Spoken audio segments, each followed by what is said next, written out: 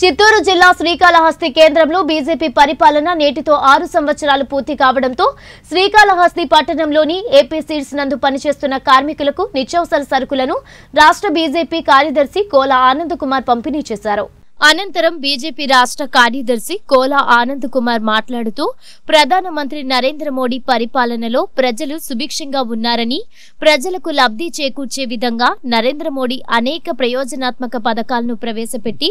అటు కేంద్రంలోనూ ఇటు రాష్ట్రంలోనూ ప్రజలకు లబ్ధి చేకూర్చారని కరోనా మహమ్మారి ప్రపంచ దేశాలలో ప్రజలను అతలాకుతలం చేస్తున్న సమయంలో